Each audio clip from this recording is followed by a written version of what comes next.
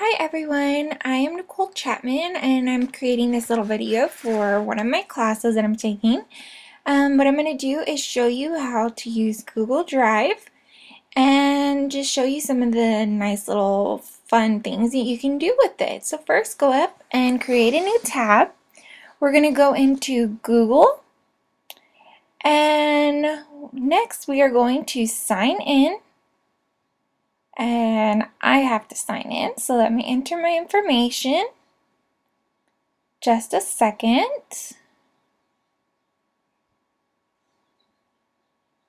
All right, so if you have an account, go ahead and sign in. And if you don't, go ahead and sign up for an account up at the top. I'm gonna just save my password real quick. And what is this? Uh, just gonna skip it. So moving on. Now what we'll do is go up to Drive up at the top.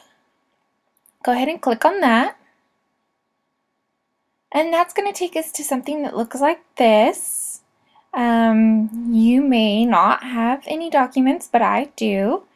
And um, to create something, you want to go up to Create at the top. And then you have a number of options that you can choose from. You can create a document, which is like any word processing word processor, excuse me. Then you can create a presentation or a spreadsheet or a form.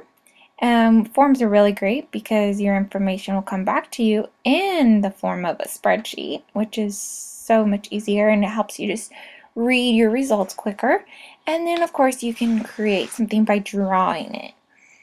Um, so I'm going to go ahead and create a document. Ah, here we go.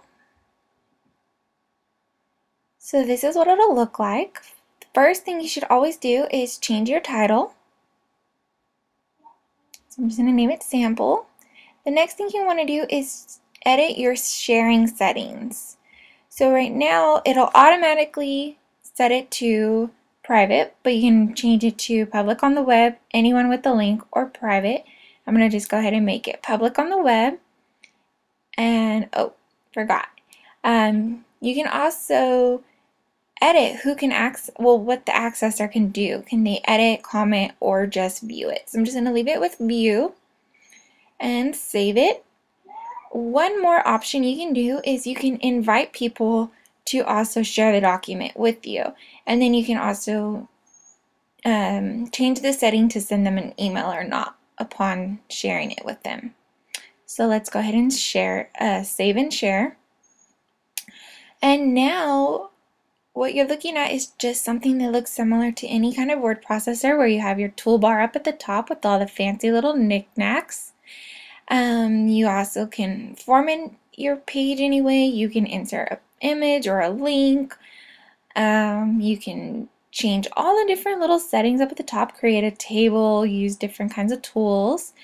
And that's that. It's real simple. If you've used anything like Microsoft, then you're probably all set to just start working just type and have some fun. Thank you.